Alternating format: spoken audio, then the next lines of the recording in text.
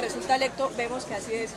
Alcalde, lo vimos a usted en la mañana hablando con los agentes de tránsito, pero en este momento está en alcaldía. ¿Qué lo motiva a venir acá? Pues que este es mi nuevo cargo.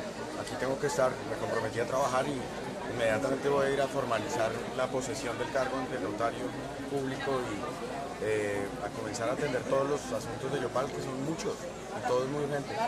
Había un comentario de que se estaban haciendo algún tipo de presiones para que se hicieran unos pagos desde la Secretaría de Hacienda y que usted vino justamente también por ese tema, para decirle a los funcionarios que se abstuvieran de hacerlo por ahora. Así es, desde temprano le estoy pidiendo a todos los funcionarios responsables del manejo de los pagos, de los movimientos de cuentas y giros del municipio, de que se abstengan de hacerlo hasta tanto yo no eh, tenga plena revisión de esos, de esos pagos y pleno conocimiento de la plata que va a salir de la alcaldía, no vamos a permitir que se gire un peso hasta que yo no vuelva eh, formalmente posesionado como alcalde tenga totalmente claro que no está en riesgo un centavo de los chapaleños. ¿Cuánto va a ser su posesión?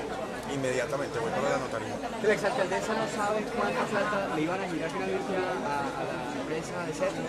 Aparentemente hay una resolución, es lo que nos informan, pero esa resolución está siendo objeto de una revisión por la Oficina de Control Interno, donde se estaría autorizando eh, comprometer más de 4 mil millones de pesos de la administración para darle a una concesionaria que, como ustedes saben, está siendo objeto de, un fallo judicial y que tiene unos cuestionamientos legales gravísimos. Yo no voy a permitir eso. ¿Ya le está pidiendo usted a sus amigos cercanos o compañeros de lucha que estén limitando ya algunos sitios de alcaldía, algunas oficinas, que se hagan? Acabo de dejar aquí unas personas para que nos permitan, mientras vamos a la notaría y volvemos, tener control de que no haya un solo eh, registro más, un solo decreto, una sola resolución, ningún acto administrativo eh, en el cual pudiera comprometerse.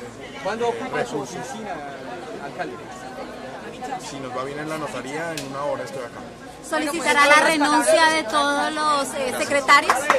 ¿Solicitará la renuncia formal de los secretarios? Eso es algo que tenemos que revisar. ¿Qué será lo primordial que ejecutará al inicio de su alcaldía? Hombre, hay que tomar control de la, de la alcaldía. Nosotros hay múltiples asuntos que atender, mucho.